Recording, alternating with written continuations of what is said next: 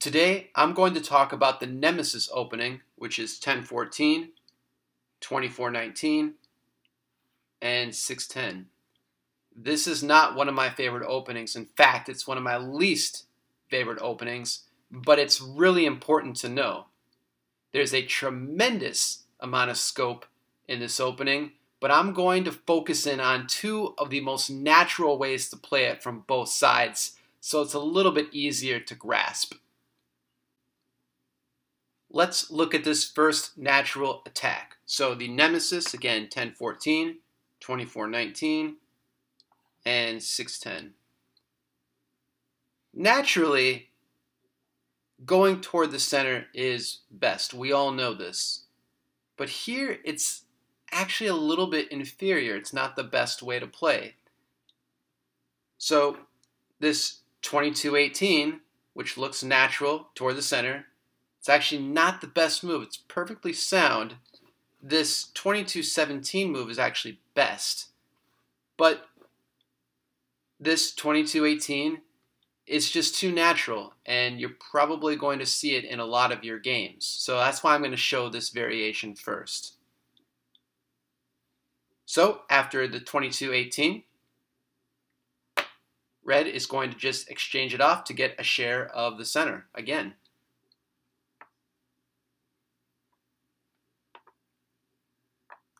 Taking the double jump, and then jumping back toward the center.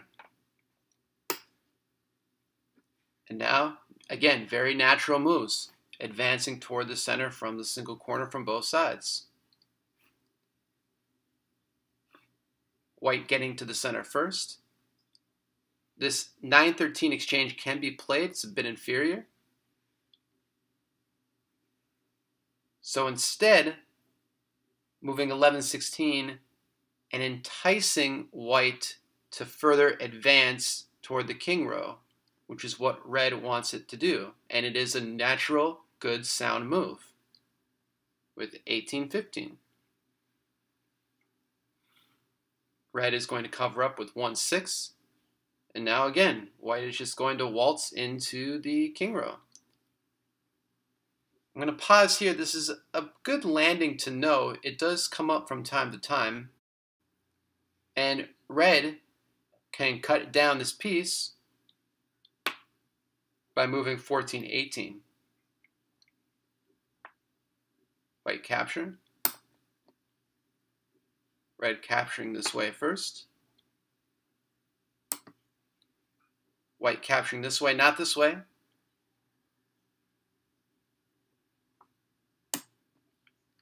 Now jumping back here. And now this piece is eliminated with this jump. There are a number of ways to attack here for white. And this 31.27 is as good as any. It's as good as 29.25 or even this 2623. At this point, red can safely advance to the 19 square. Again, enticing white to attack it here, but red has this 2-7 just waiting for the 2 for 2 to take this piece back after white goes 27-24. White's going to wait a move, and red is going to wait a move. Again, just waiting for the action to happen here, which it does now. No more waiting moves. 16, 20, and now you can see the two for two here.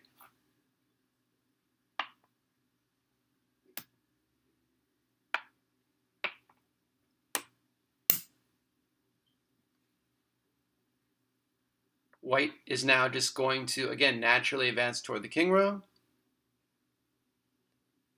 Red is going to do the same. But white is going to pitch a piece here. It's not going to let red go in and wreak some havoc back here. So it's going to pitch a piece.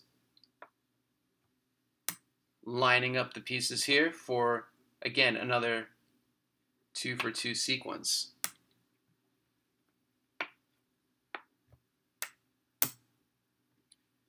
Red is going to crown. White is going to advance toward the king row, and red is going to start developing its pieces. White moves up here to stop this piece from further advancing. White's going to get a king.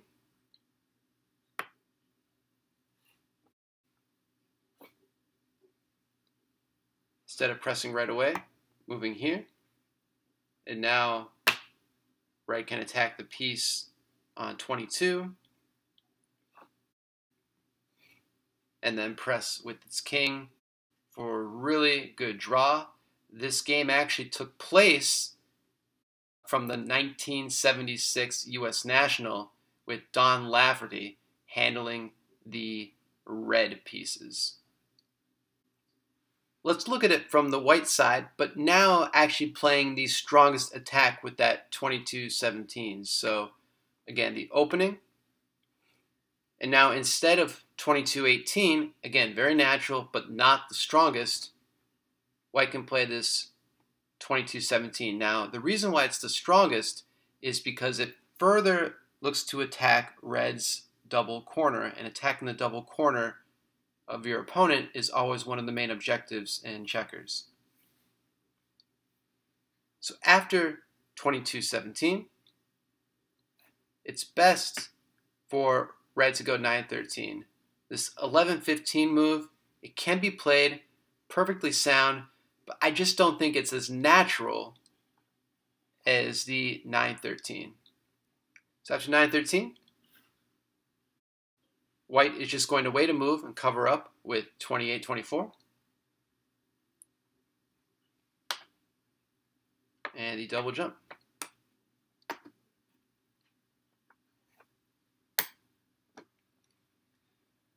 29-25 is a move favored by Alex Moiseev, and he actually considers it to be the best and most aggressive move.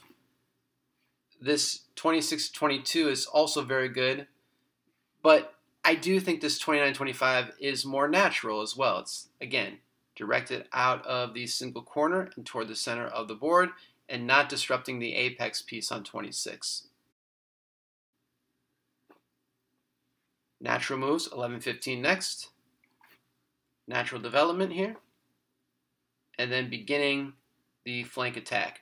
Now, naturally, the development of 4-8, which is very common in a lot of games, will actually lose here by 26-22.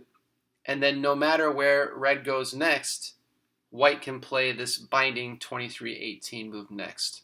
So if your opponent's play this, again, very natural 4-8. Know that it will lose by 26-22, followed by 23-18. So instead, 3-8 can be played and should be played. And now with 26-22, Red has a safety net of going 11-16 in the future if it wants, because it has this, this exchange. It did not have that exchange with 4-8 because you had this elbow here.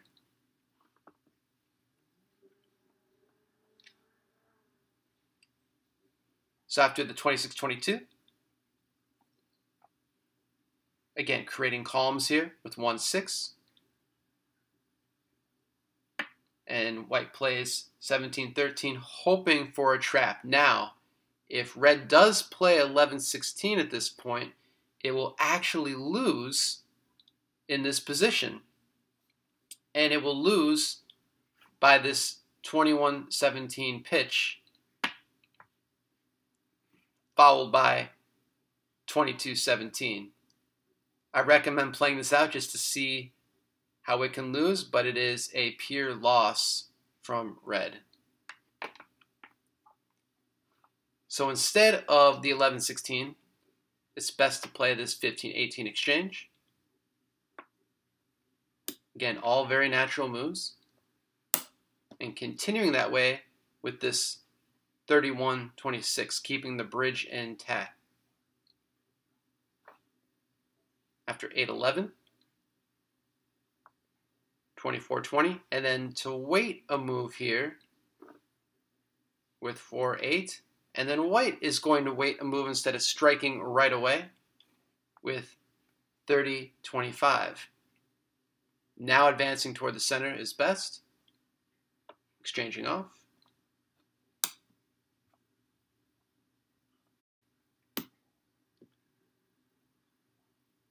And then 15-19. Now, white is going to go in here to attack the piece on 8, hoping that red will do the same. However, if this sequence happens, white is going to jump and get a king, red is going to jump and get a king, but you have this elbow here, and after 26-22, it's again a loss for red.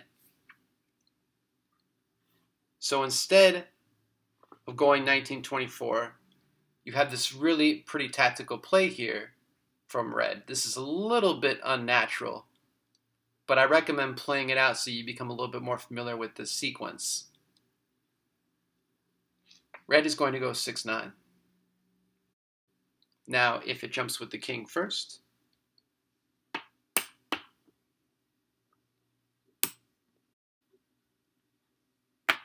red has this 1823.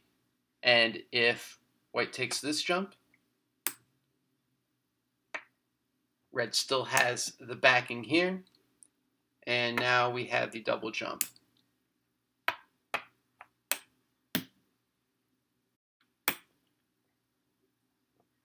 There's a couple ways to play this out here. If white goes 2016 looking to further attack the pieces here, red can defend by going 913 and if 1612 is played you have this 1014 move double jump and double jump again. And if white wants to attack the piece on 7 like it's going to do so here red has the saving grace with this 2 for 1 which I'm sure a lot of you can see right now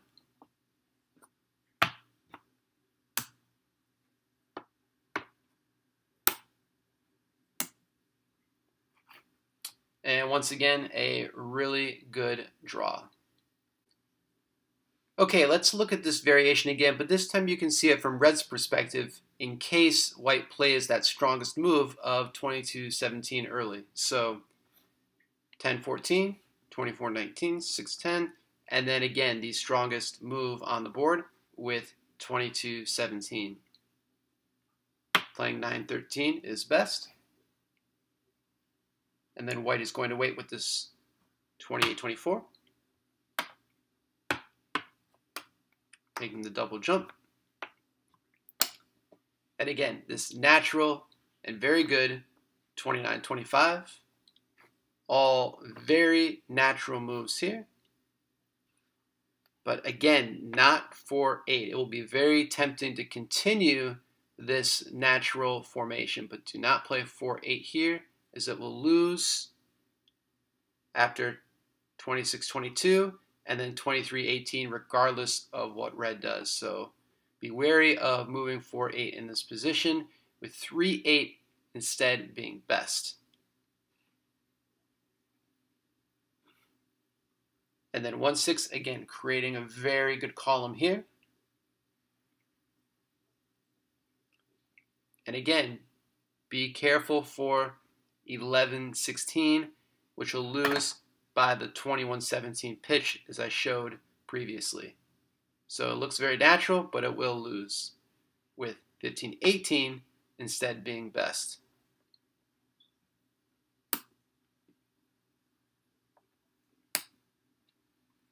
Now preventing this piece from making any further inroad here with 3126. Again, very natural waiting a move, and then white waiting a move. Now advancing toward the center.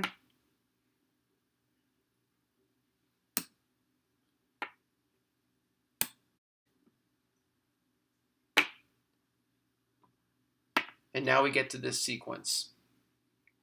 This move will lose, so it will be very enticing to move to get a king. But this 6-9 key move will draw. So if white gets a king first, red has this 1823. White can exchange off this piece. And now we have the double jump.